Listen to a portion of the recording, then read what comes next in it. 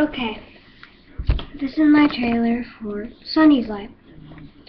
And these two horses. Sunny is this one. She will be going on adventures with her friend Annie. Annie is a Western Appaloosa. And she is the smart one. Sunny is the outgoing, fun one. And adventurous one. She is smart. I mean, not totally dumb, but, um, she can't solve things like. Whoa, what was that? Think about it. There will be some mystery to it.